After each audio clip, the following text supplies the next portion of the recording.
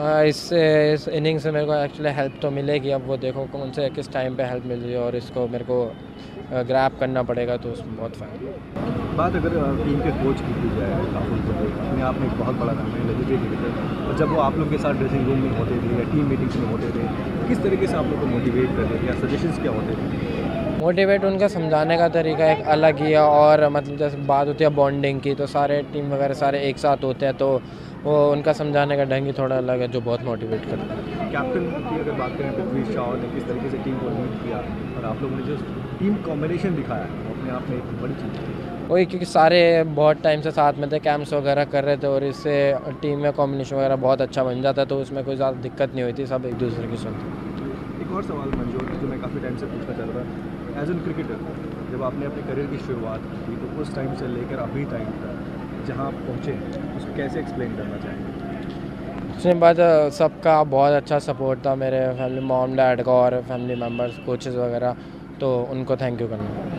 और मैच चल रहा था और आईपीएल का ऑप्शन में आपका नाम जो है वो ऑप्शन हो गया था। ये कितना बड़ा अचीवमेंट मानते हैं? अचीवमेंट पर वहाँ पे एक डिस्ट्रैक्शन भी था क्योंकि सर ने पहले मना कर दिया था कोई ऑप्शन वगैरह कोई ज़्यादा नहीं देखेगा क्योंकि वर्ल्ड कप चल रहा था। जो मेन चीज़ थी वो वर्ल्ड कप था। पर उसके बाद उस चीज़ को भूलना पड़ा उस टाइम तक के लिए फिर मैच जीते तो उसके बाद एक आखिरी सवाल मंजू स्ट्रगल बहुत बड़ी चीज़ होती है स्ट्रगल से बहुत सारी सीख भी मिलती है। और इस स्ट्रगल के पीछे आपने कई सारी चीज़ों को देखा भी है।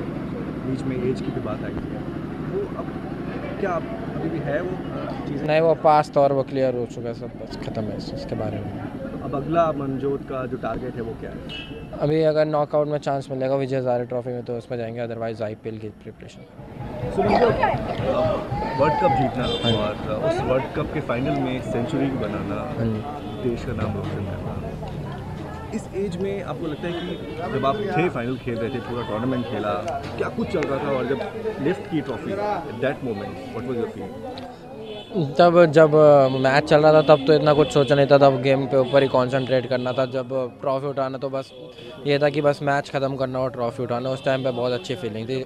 जिसका वेट हो रहा था इतने टाइम से वो हुआ तो बहुत अच्छा कई सारे जो क्रिकेट एक्सपर्ट्स हैं वो अलग अलग बड़े खिलाड़ियों से आपकी तुलना कर रहे हैं। कोई युवराज बोलता है कोई विराट से तुलना करता है प्लेइंग जो टेक्निक है उसके ऊपर में आपको क्या लगता है कि इसको किस तरीके से लेना चाहिए? पॉजिटिवली लेके इसको एडमायर करने की ज़रूरत नहीं उनसे मेरे को कंपेयर तो कर नहीं सकते वो खुद एक लेजेंड प्लेयर है तो बाकी वो कंपैरिजन कर रहे तो मैं उसमें कुछ कर नहीं सकता पर मैं ये कहना चाहूँगा करें ना क्योंकि वो बहुत लेजेंड प्लेयर है। अब इसके बाद मंजूर अगला टारगेट क्या होगा? इस परफॉर्मेंस को कंटिन्यू रखना कंटिन्यू ही रखना इसका तो तभी कुछ मिलेगा एक सपना अगर मंजूर ने देखा है तो वो क्या है? सीनियर इंडिया खेलने का। और देखो वर्ल्ड कप हाँ जी।